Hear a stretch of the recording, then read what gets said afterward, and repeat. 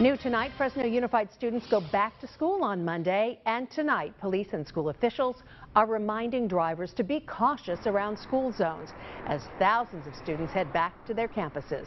CBS 47's Connie Tran joins us live tonight from Ericson Elementary. Connie. Catherine Ken, come Monday, this driveway is going to be jam-packed with drivers and parents picking up and dropping off their students. A big piece of advice is to leave early on Monday and give yourself plenty of time. It's been months of summer vacation, but in three days, the streets around many schools are going to be crowded.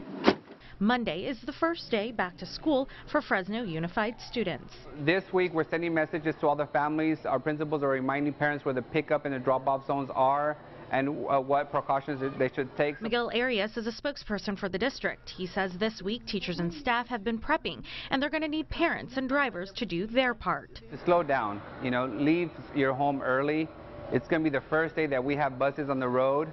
Um, that we have kids walking to school. Fresno Police Chief Jerry Dyer warns there will be extra patrolling out near the schools. Next week we're going to have children being present and uh, what we do not want in our city is a tragedy where a young child is uh, struck by a vehicle. Dyer says there will be little tolerance for those who speed around schools.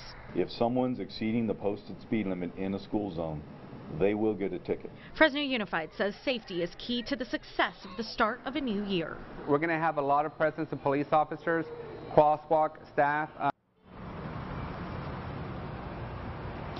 Something new in Fresno Unified this year, the school district says that all staff are now equipped and trained on how to best handle an active shooter situation. Parents can expect to see some posters around all of the schools this upcoming school year.